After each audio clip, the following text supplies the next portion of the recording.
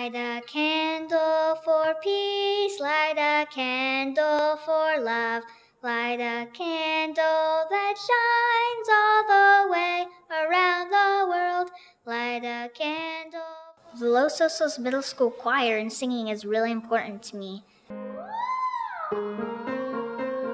I feel like working with a professional is really helpful when you're singing because you learn lots of things like breathing and reading music.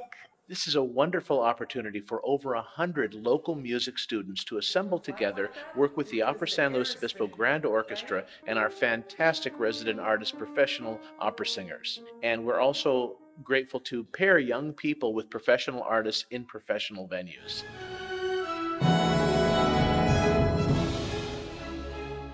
So the collaboration we're working with here includes Opera San Luis Obispo with Brian and his orchestra, ourselves here at the Movement Arts Center. I'm choreographing the piece with four students. There's a lot of moving parts. and we have costumes involved in that. And I think that's a very enriching opportunity for the students because they realize they're a part of a larger whole.